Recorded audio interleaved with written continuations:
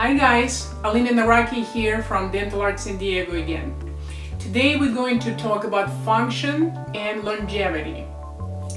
As you probably imagine, the less teeth we have, the less we are equipped for optimal digestion. Also effective life. People who miss 5 plus teeth live on average 15 years shorter of a life, uh, lifespan than people with complete healthy dentition. All teeth are present. Why would that stand to be true?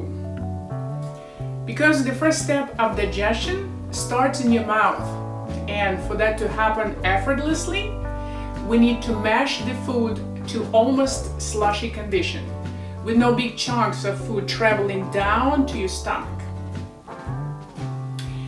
So it is critical to have your back mashing teeth or molars, since the front teeth are not designed for chewing. They designed for just a quick shearing, uh, quick release motion. Just cut a piece and send it to the back teeth for chewing. That's all.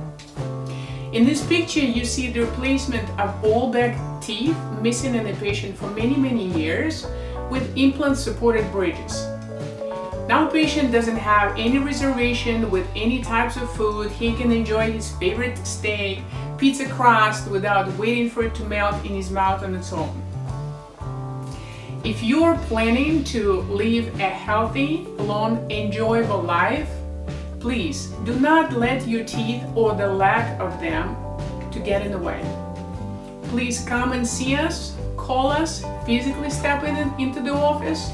We can help. Until next time, cheers!